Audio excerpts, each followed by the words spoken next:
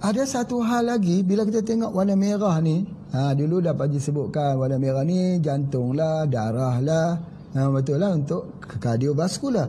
Tetapi bila kita sebut kata bahasa merah ni ada satu hal lagi, dia ada anti sakit. Anti sakit.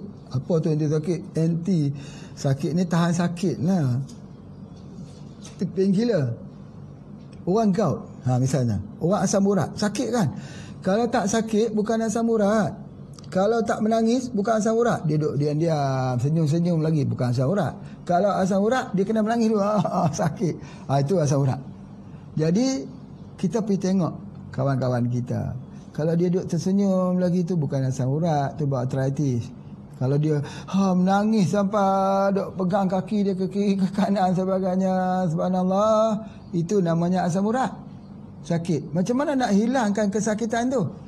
Ha, buah warna merah, rozel. Rebus rozel, bagi minum. Sama juga dengan orang sakit di payudara. Sakit kerana ada kanser.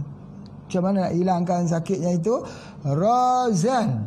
Atau boleh guna buah naga. Buah naga merah tu. Boleh?